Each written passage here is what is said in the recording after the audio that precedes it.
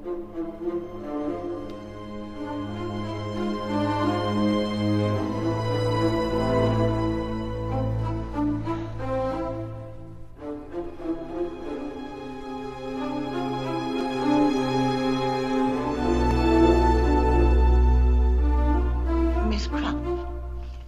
you or were you not arrested for possession of a revolver?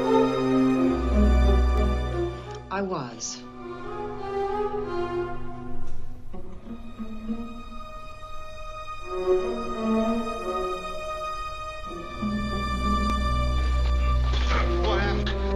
you said, Paul.